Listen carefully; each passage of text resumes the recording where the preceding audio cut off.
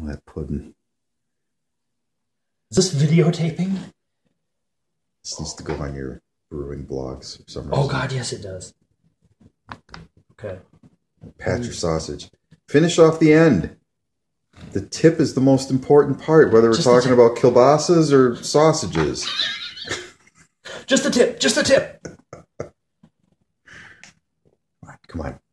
Work it. Show me. Show me what you want. There it is. There we go. Do we need? Oh, that's nice. Do we need a toothpick in it? No. Amateurs need toothpicks. Are you an amateur? I'm a professional. Yeah. Yeah. Okay, now you're just playing with it.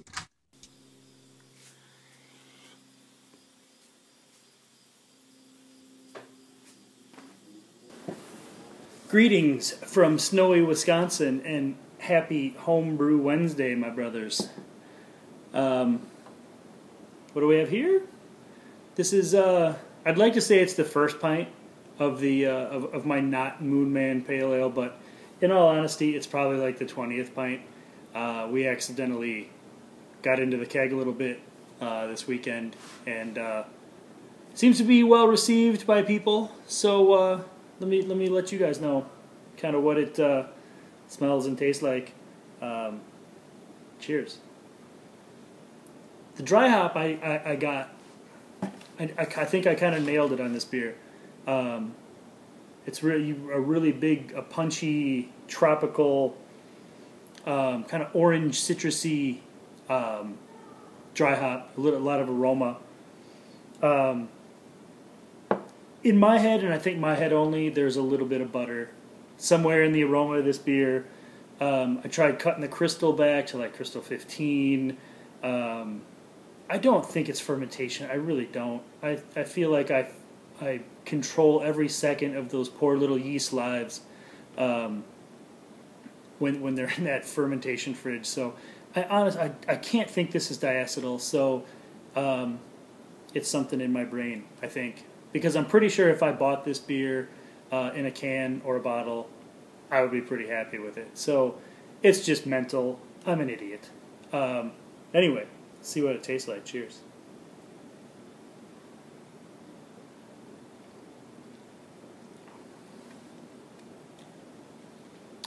The hop flavor is way more subdued than the uh, the aroma would suggest. Um, you definitely get some some of the tropical citra. Um, a little bit of malt backbone. Not it's not huge. Um, I think maybe a little more bitterness might might balance it out a little bit better. Um, and I get a little bit of butter flavor, and I think that's all in my own brain. So I might have to scatter a few of these beers around the uh, the BrewTuber universe and uh, just see what other people think. Because for me, it's a perfectly drinkable beer. I'm going to enjoy the whole keg of it. Um, but I feel like it can be better. And maybe I maybe we always think our beers can be that little bit better, but um, this one I, I, I feel like it can be better. So I guess we just have to try again. Um, recipe I think is solid. Might up the bitterness a little bit. Um, keep the dry hop the same, and maybe uh, whirlpool longer or or a, a heavier uh, whirlpool um, or late hop addition, just to just to bump the the hop flavor up a little bit. So so we shall see. Um, as you can see by the the intro of this video, um, I played with some sausage this weekend. Um, also some some uh, some brisket. I'm I'm also a uh, I'm not just a homebrew nerd.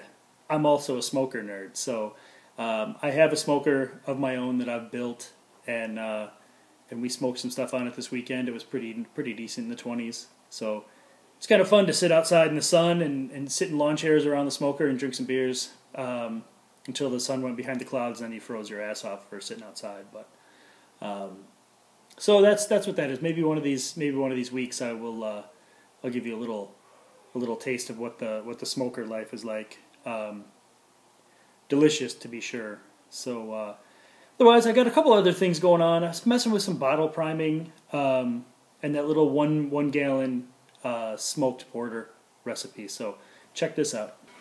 Okay, just measuring out some table sugar. Um, I'm gonna bottle prime these 12 bottles um, for this smoked porter. Um, I've never bottle prime before. I'm sure there's a better way to do it. I normally, if I do it, I use those carb drops or whatever, but I don't have the carb drops. So I went on a calculator, figured I need I need like 1.8 grams of sugar per bottle. So I have this little scale that's accurate to like the hundredth of a gram. Well, accurate. It's accurate as a cheap scale is going to be, but I think it'll be pretty close. Um, so basically just going to measure up sugar, chuck it in a funnel, and and uh, we'll see what happens. I think it should work okay. It's not ideal, but most of what I do is not ideal. So I'll be back. So it really turns out two grams of sugar is not very damn much sugar. It is uh, barely anything. So I'm trying to measure this as close to two grams as I can. Um, and then through the funnel and trying to knock it all out and making sure when I put it back on the scale, at least it, it drops back to zero. Um, then I figure everything is is as close to. Uh, there's a lot of water going down a pipe. That's that's a little heavy. Then it's at least as close to equal as I'm gonna get. This is definitely. I'm glad I'm only doing 12 bottles. This is not a fast way to go for sure. So I don't recommend it. I'm sort of assuming no one really needs to see how to bottle beer, but I'm bottling beer and I'm bored. I don't have anybody to talk to. So you guys can talk to me. trying to gauge how many bottles I'm going to get. This is four. I bet I'm only going to get maybe, maybe eight, eight or ten bottles out of this, this gallon, I have a feeling. Okay, so I got eight good bottles out of that, uh, that gallon growler or gallon jug, gallon carboy, whatever you want to call it. Um, this is what I have left. Um, so let's see how smoky it really is. The the aroma is definitely way, way, way more smoky. Um, I don't think it's obnoxiously smoky, but it's really got a, a good uh, kind of campfire sort of thing going. Kind of really hides the, the chocolate and stuff from the uh, the porter itself pretty well. There's a little bit of like uh, maybe like dark fruit kind of that just kind of that dark fruit sweetness that comes through a little bit.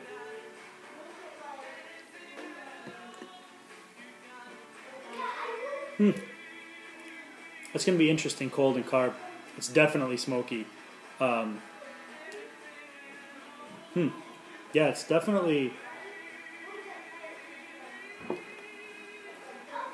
very campfire, very, uh, and then the, the the sweetness of the porter really comes in hard at the end.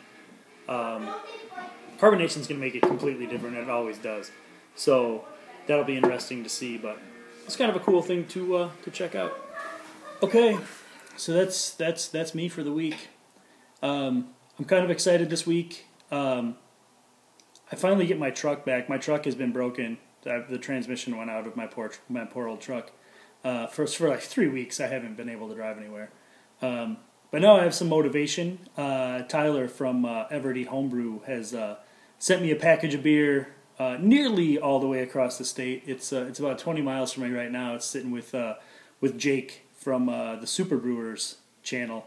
Um, they were they were together at the the Fond du Lac Homebrewers Fest um, over in Fond du Lac, Wisconsin, which is it's on the other side of the state from me. Um, but I've got some goodies from Tyler, so got to find a way to get to Menomonie and uh, get Jake a couple beers for being my for being my mule, and uh, and then we'll see if I can get some stuff in the mail over to over to Tyler or uh, or we'll see. So uh, pretty excited about that. I've only been doing the BrewTuber thing for a few months, and and uh, this is quite a, quite a few other people's beer I've gotten to drink already. So pretty fun stuff. Um, anyway, cheers everybody. Hope everybody's got a great week going. Um, brew some beer. I need to brew some beer. I have grain. I need to brew some beer. Uh, I don't like it when my poor little fermentation fridge sits empty with the lid up and, and all the lights off. It's it's it's a lot better when I know there's something happening in there. So, uh, cheers, kids! Happy Homebrew Wednesday.